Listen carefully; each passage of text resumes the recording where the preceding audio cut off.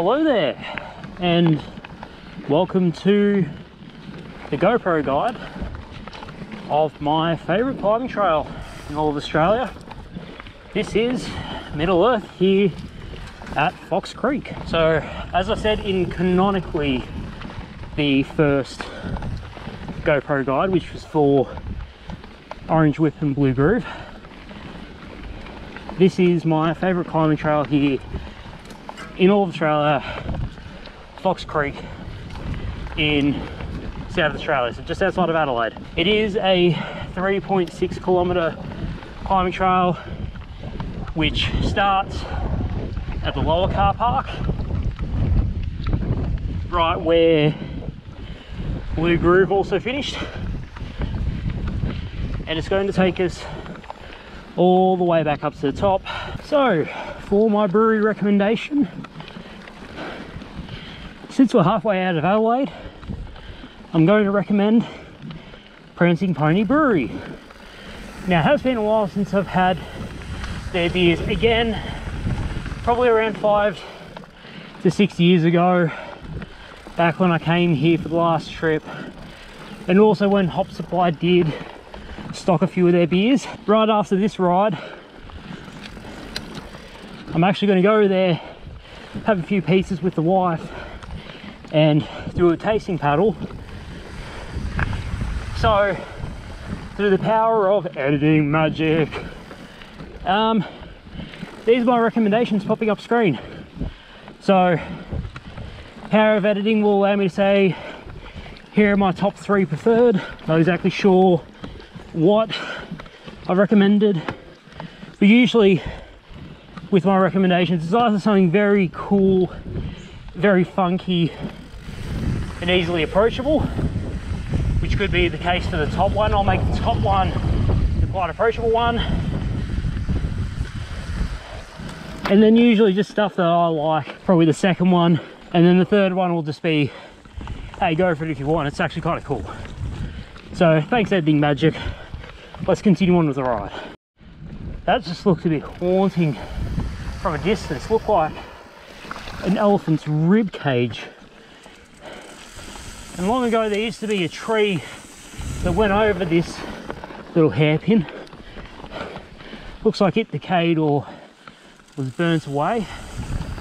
But as I said, the region hasn't exactly had glorious weather for trees in the past five years.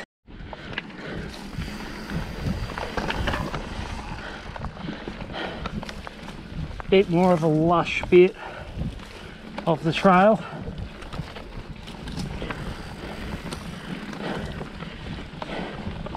And just with that grey sky, geez, does feel like we're going off to throw the one ring into the fires. Probably also why it's so damn humid. But we'll keep trudging on. So, rough calculation, about 1.82 kilometers into this, and I forgot there was just a part where it drastically steepens in gradient and you're just chugging on the pedals the entire time. And luckily once you get to the top of just that really green grade grueling climb, which it does take a bit of fitness. Don't think that it was a very shallow gradient, but you're just greeted by this wonderful breeze. You can sort of hear it blowing amongst the trees right now. And again, it's fairly, it's a fair green grade challenge. So people can walk their bikes up it, but if you've got the confidence and you choose the right gear, any beginner should be able to chug their way up that climb. All right, just coming down a little bit of a descent on Middle Earth. We're getting relatively close to the end as it opens out onto this open valley, which a few years ago did have a lot of these trees still in place. So most of these trees were still left standing, but as I eventually turned the camera around, this part up ahead had just been logged. So it's a bit of a contrast having what was previously tall trees and pine needles that littered the ground and made nice soft loam to be the graveyard of trees or ents as I would call them in Lord of the Rings. Wife will need to cross check that.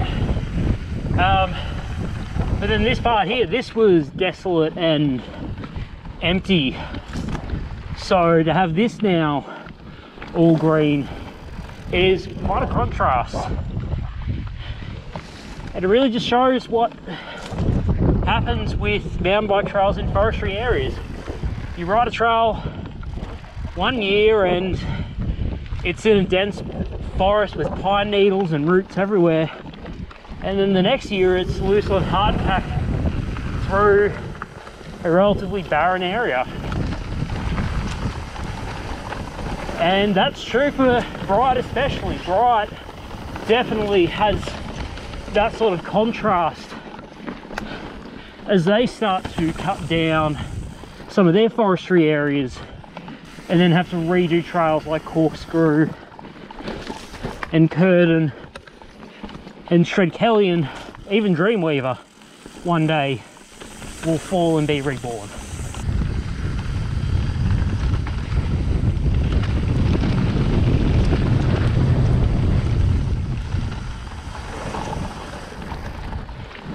Good thing I didn't slow down, pedal up that. There's also just that nice soft smell of rain in the air. A little bit of a mist, but I love it.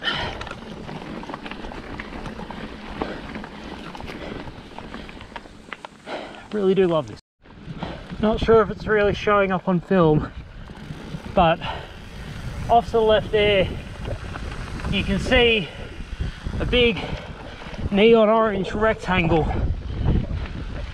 That's the free ride wall at the upper car park, free ride park as we end the Middle Earth ride here